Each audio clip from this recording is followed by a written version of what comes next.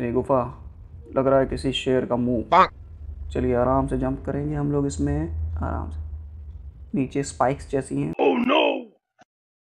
हाँ। एक बार और। चलिए ये कहाँ आ गए? ये कहाँ चले गए?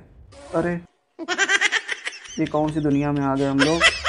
कौन से रास्ते पे चले गए?